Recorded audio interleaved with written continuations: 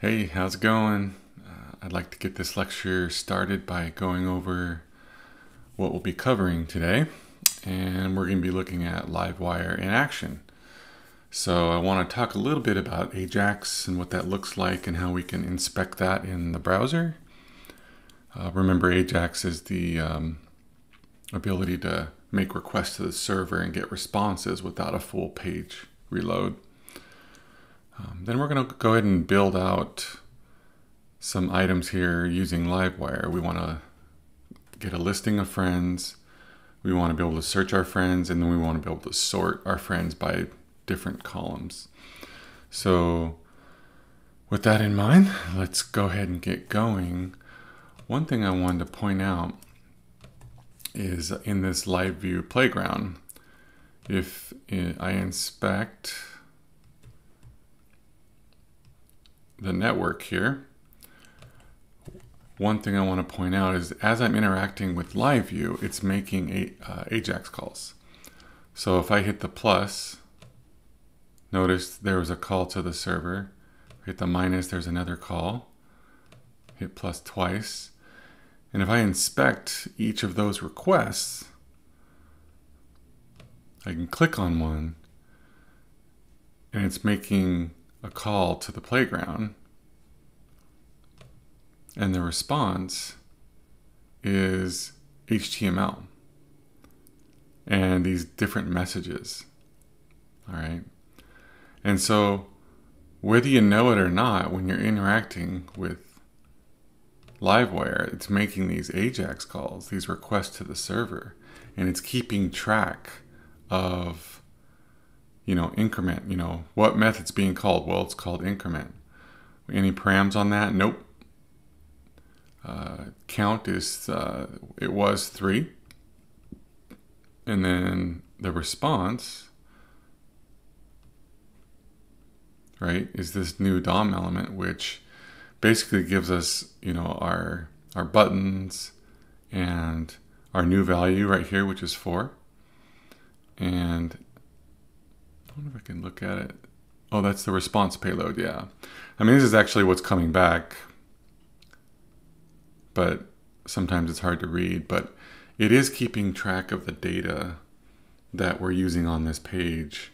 And when it come, when you get the data back from the server, that's what's displayed up on the, on the, on the page. So it's just kind of a cool thing to think about as this is happening. And even on this one, where we were keeping track of, of a message,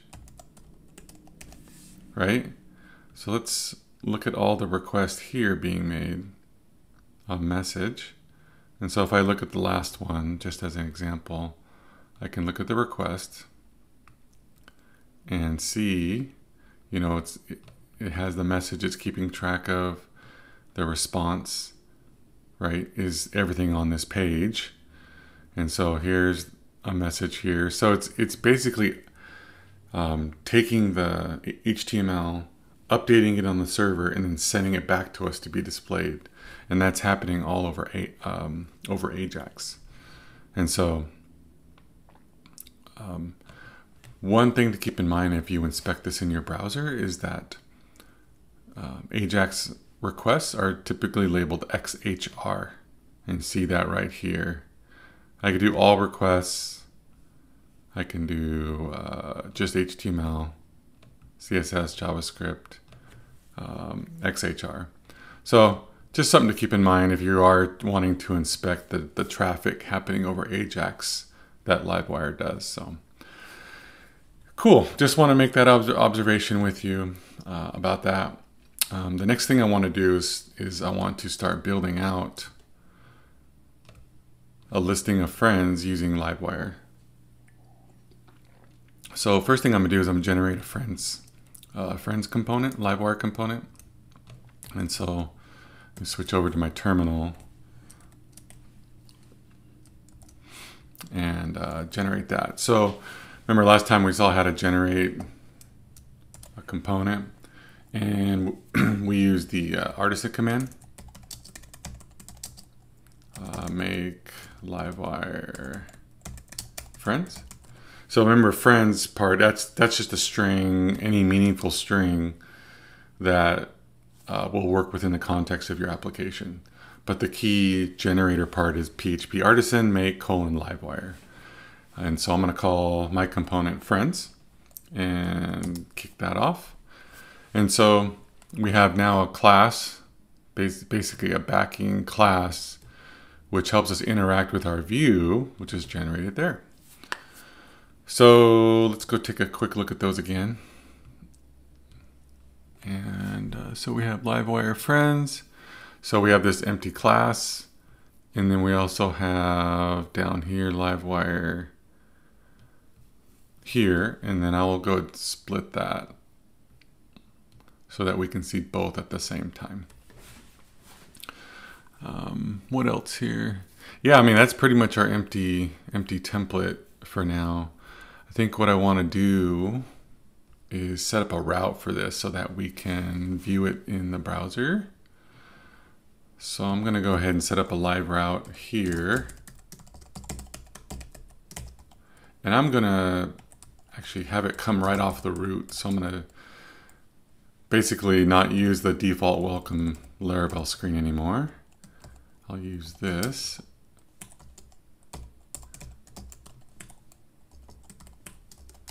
So I'll route the the root level uh, uh, URL over to my friends component, and then we'll test that out real quick. Hello from Livewire friends. See if that works. So I should be able to go to the root level of my application. And there it is. Hello, Livewire from friends. Um, now, I also want you to notice we're using the default layout that Livewire references, which is the app.blade.php. And uh, I get this live view playground because that's what I have in the layout. So I'm not so interested in that right now. So let me make that a little bit more flexible. And I can do that by, uh, let's see, where is, where's app dot? There it is down here. I want to make this a little bit more flexible. Um, and so same idea here. We have this yield content. So any any um, views, view templates that use this as its layout, the content gets stuck right there at that line. So I can use the same idea for like a title. And so I'm gonna I'm gonna do that here. Make it a little bit more flexible. And then I'll also use that up here so it's not hard coded.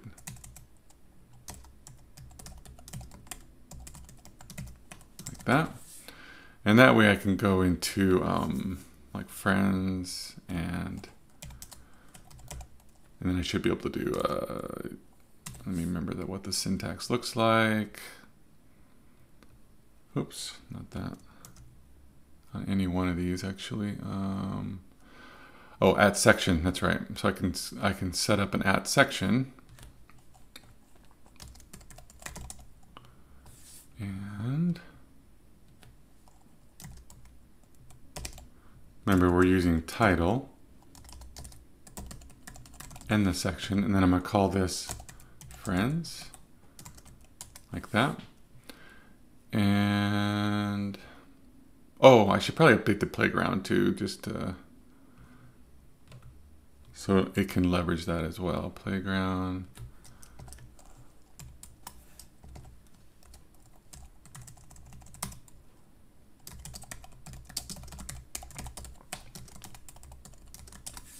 Okay, cool. So that should basically take this title information and inject it up into the layout of app. So let's go verify that. Cool. So I have my friends and then friends. And then if I go to playground, that injects live playground up into this H1 and also the title of the page. So awesome. That works. So that allows us to leverage that same layout. Uh, friends, yep, we'll be hanging out here for a while. I don't need index and I don't need app. This should, give us everything we need because we have the CSS, we have Livewire styles, we have Livewire scripts. We should be able to leverage all of that. So this is great.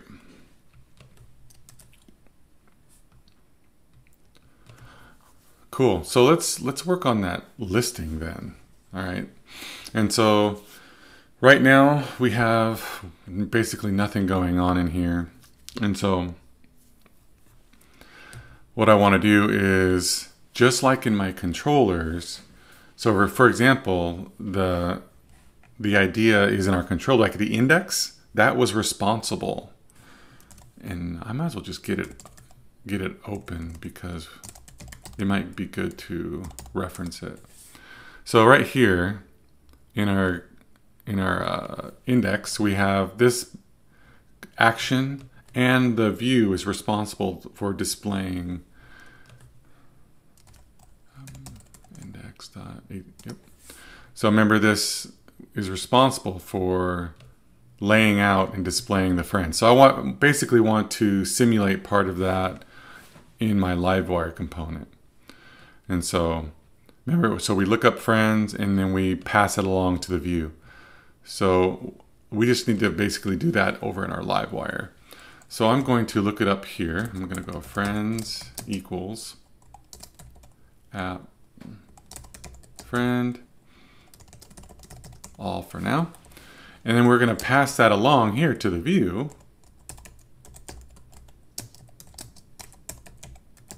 Like that. And then in our view, I basically want to create that table look. So I'm going to copy some of what we did over here. I'm going to grab this and copy that.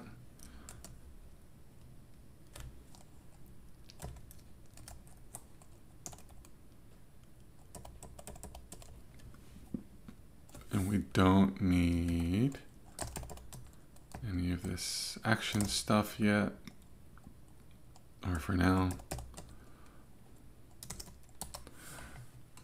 Cool, so this will iterate over the friends. So we've identified our variable friends. So in the view, we're gonna use friends as friend and then iterate over that one at a time. Each row will, will print out the information. Okay, cool. So let's go back to our page here, hit refresh. Bam, that worked. Awesome. cool. So I just loaded that uh, via Livewire. So that's great. Um, so the next thing we want to do is we want to be able to search our friends. So let's go ahead and get that going. And so the way we're going to do that is we're going to set up very similar to the two-way data binding message input box that I showed in the playground.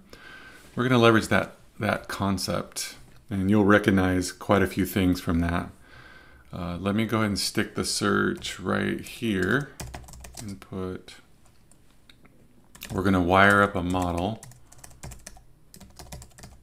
so that it tracks the, the value going. We're going to call it search. And I'll just stick a placeholder on there.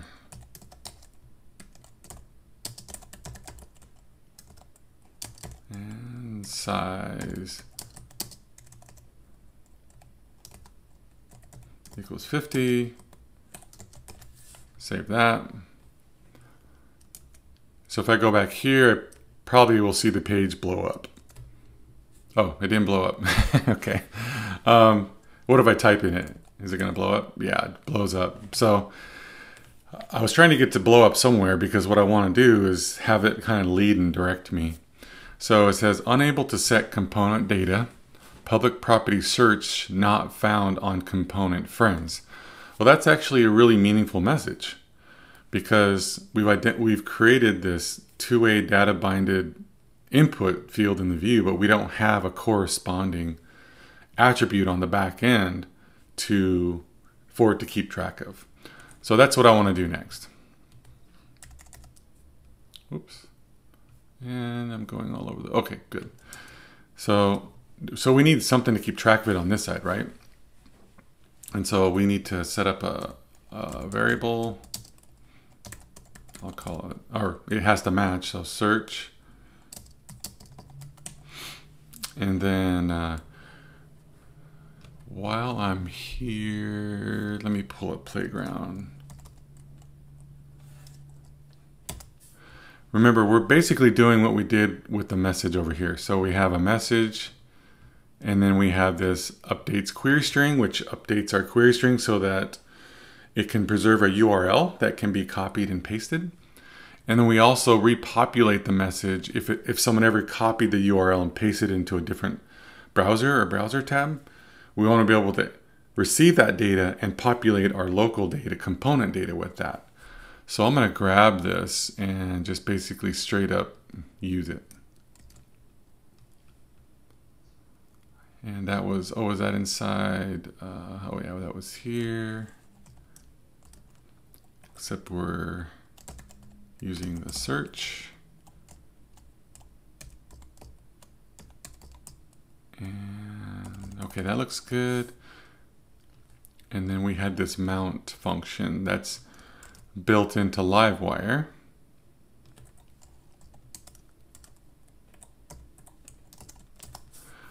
Okay, so now we have a variable we can data bind to, we can update the query string, and then we can repopulate the search value.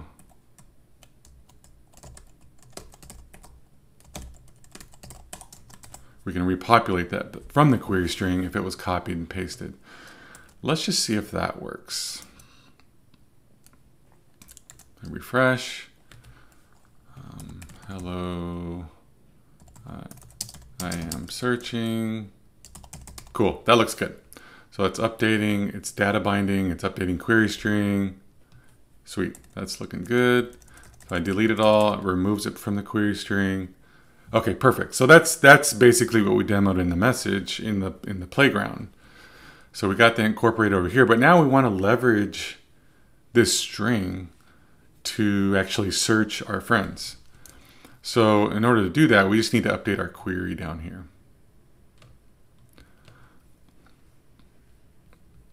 And so um, I'm not sure if you had time to look around at the Laravel Eloquent documentation, but there's some pretty cool queries that you can do.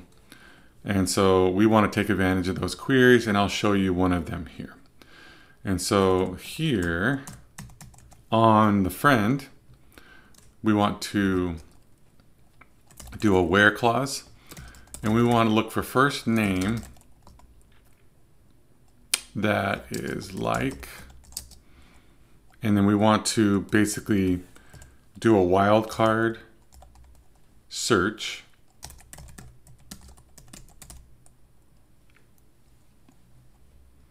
Make sure everything looks good a wildcard search. Let me make this a little bigger. Where first name is like,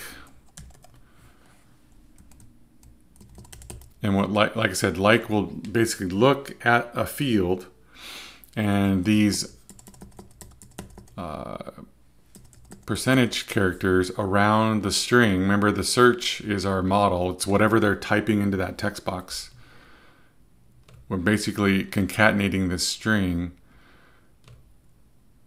Okay. In fact, I should be able to, yeah, let me, should be able to clean this up with uh, interpolation. So I'm going to do that.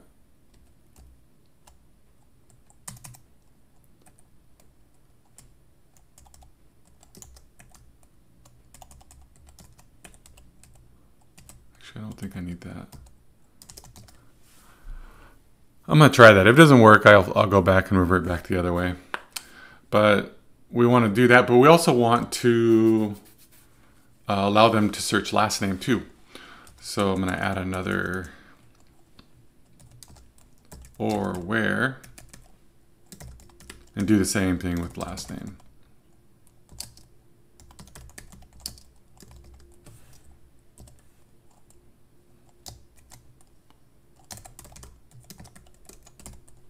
Search and then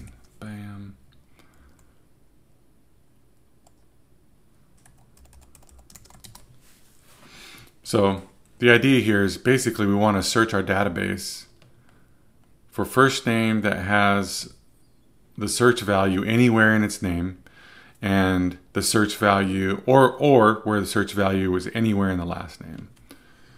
And so that will do that search, assign it to the friends variable, and we'll pass that friends variable on. The cool thing is that in Livewire, this happens in real time. So it'll do the search and update our list at, while we're typing. So that's the whole kind of point of these interactive real applications that if you did this in a traditional request response style, the page would be refreshing over and over and that's just that's just not acceptable for a user interface. So we would want something like this to have a real-time search like this. So what I need to do now now that we're doing this where clause searching is I need to actually fetch the friends. And so in order to do that, I'm going to, off of this, just call get. And that will actually go ahead and retrieve the friends for me. So let's, let's pull that up. Okay, yeah, that looks good. And so now let's test this out to see if this works. So I can see like Hank is on here. Let's type in Hank. Awesome.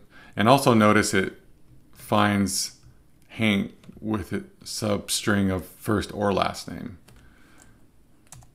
What else? Lavon. A couple of ons there. Manuel. Cool. Bach. So it looks like it's working. And if I look at, if I inspect and look at the Ajax requests, right? So I can look up uh, Corwin. You can see the the response is being sent and or the request being sent and the responses being returned. We should get all the HTML for the listing on this page. So cool. Okay, so it looks like our search is working. What about our URL? So I can copy that, open a new tab, paste it, and our search is preserved there too. So it's really, really powerful. Okay. All right. So that's look that looks like it's working great. Um, the last thing I want to do now is actually sort the friends, and we want to be able to sort these in ascending or descending order based off the column. So we have first name, last name, and age. So the way I'm going to do that is I'm going to set up some ascending and descending links for each of these.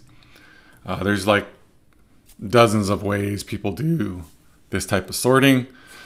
Uh, but I want to, this is just how I'm going to do it for this. And it's pretty clean. So that's what I'm going to do. Uh, I'm going to take advantage of, of these HTML entities that are just built into um, your browser. It's just built in, right? And so if I go to, and if you just look it up, I'm going to use the up arrow and the down arrow to visualize like ascending and descending. And so we can use this and UARR and and DARR to represent in the browser. And those are just web browser compliant. They just work. So it's kind of a quick and easy way to use some of that kind of stuff instead of uh, grabbing images or something. So, so I'm gonna take advantage of that. So the way, I, what I'm going to do is I'm going to go back to my view over here. And we're going to be doing that up here. I'm going to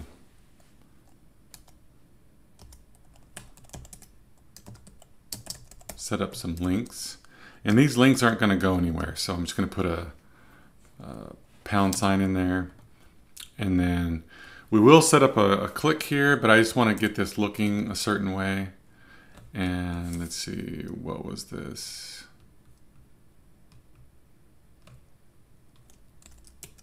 We'll put the up arrow symbol there.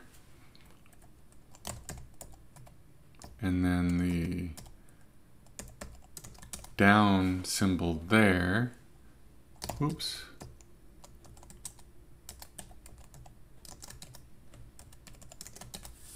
And let me show you what that looks like. So we have these up and down, down arrows, which don't do anything right now, but we will do that for each. And then we'll wire them up to actually uh, sort the data. Oops. Let me go stick that.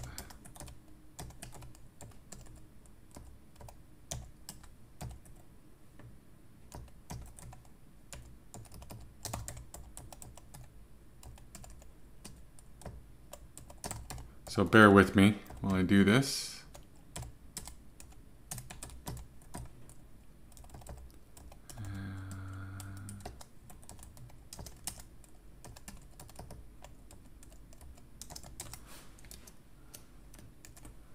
So now we have up and down arrows next to each. And so the next thing we need to do is just wire them up. And so why don't I go ahead and program to the interface that doesn't, that, you know, to the methods that don't exist yet. So I'll show you what I'm thinking to get these to work. So what I want to do is I want to do a wire click. Remember that sets up Livewire says, okay, I'm going to watch out for a click on this. And then whatever you, um, whatever you, uh, when you do click on it, I'm going to call a corresponding function over in the component class. And so what I what I was thinking of doing is I'm going to set up a click, and then when clicked on, I'm going to call a, a function or a method called do sort, and then I just want to pass in the values, the field that I want to sort, and the direction I want to sort it.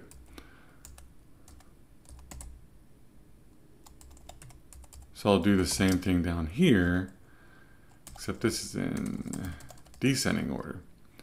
See what I mean? So it's just kind of, it's a little bit more of a literal uh, hard-coded value for each link, which I think makes it understandable coming back to read it later. So now this is for last name, and this will be ascending.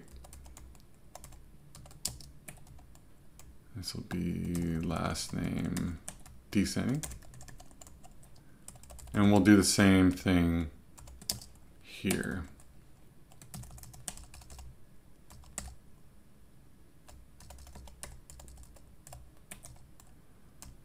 This will be for age, ascending.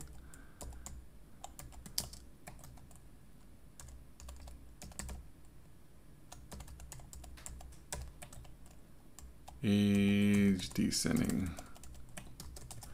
All right, so let me make sure I got this right. First name ascending, first name descending, last name ascending, last name descending, age. So I think that looks good. I'm gonna save that. And again, let me see if I can refresh. And if I click on one of these, let's see what happens. Okay, that's the error I was expecting. It says unable to call component method public method is called do sort is not found in the component. So again, what that means is that it's not defined or there's a typo going on. So in our in our circumstance, um, it's a type or not a typo. It's a it's a missing uh, method. But just so you're aware that if you see that type of message, uh, that's that's what's going on. So we need to go back over to our uh, class and write that method.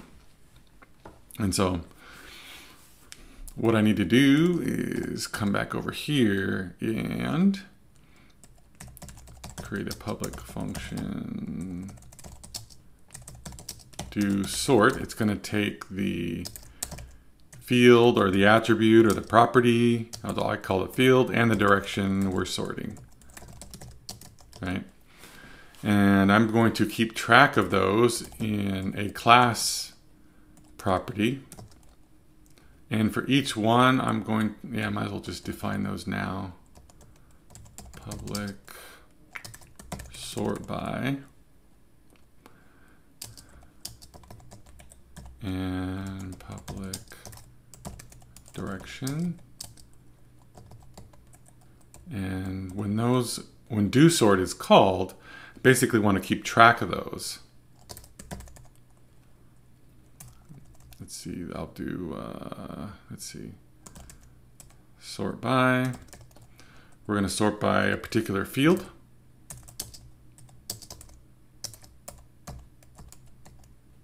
And then the direction will equal the direction. So ascending or descending. so we'll, we'll, keep track of those. Uh, in fact, I guess when the page loads, maybe I will set some defaults here. So default, let's sort by first name in ascending order. So those will be the defaults when the page first loads. So now what we have to do is update our query to do an order by. And so the way we do that down here is I'm going to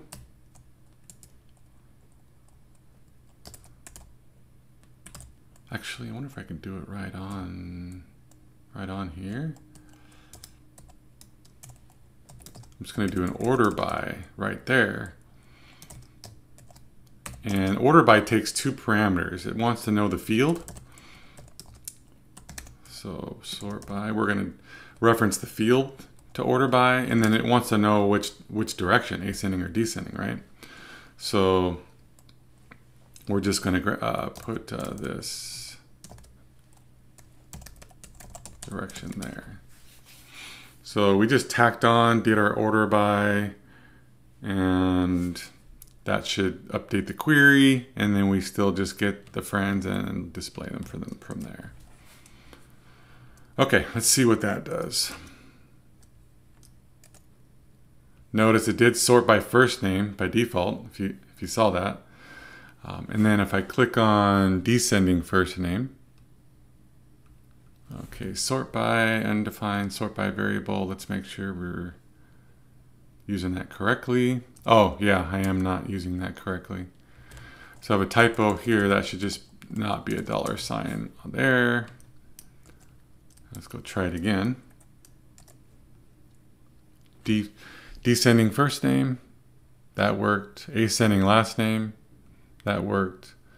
Descending last name, that worked ascending age and descending age. Boom. Awesome. I think it's also cool if I let's go descending first name and then filter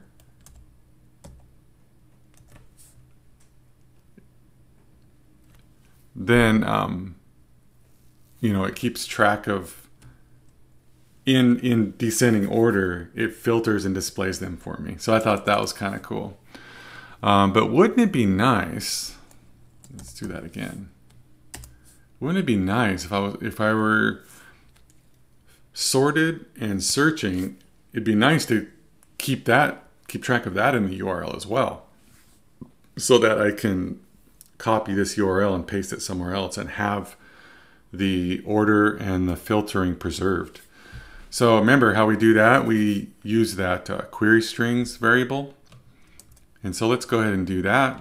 Put some nice finishing touches on this. Um, so I'm going to add these to the query string parameters here.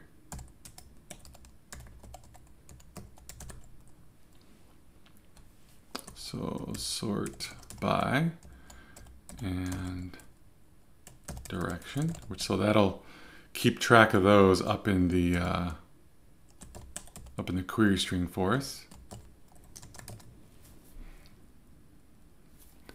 Make sure I'm typing everything right. Search sort by direction. Oh. Okay, so that's cool. And then also, when this is pasted into a different browser, we want to repopulate our component variables, so we need to do that in the mount.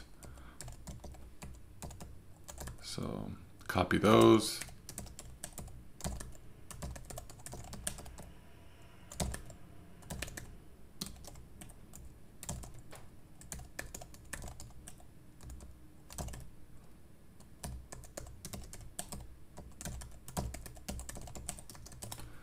All right, so I'll save that and go over and refresh.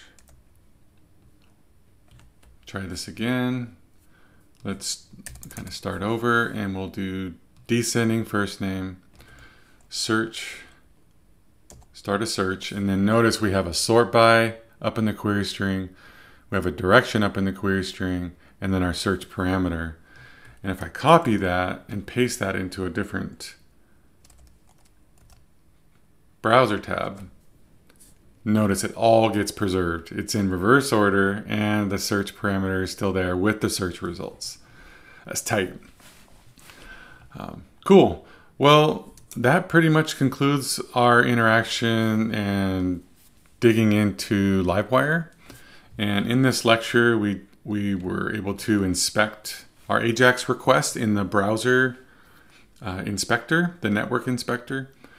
We were able to get a listing of friends, searching of friends, and sorting of friends. And keep in mind, we're interacting with the page without doing any page ref refresh. It's all doing these AJAX calls behind the scenes and updating the content of the page for us in dynamic fashion. So really, really cool. Um, so that'll that'll do it for now. Uh, have a good day. Bye.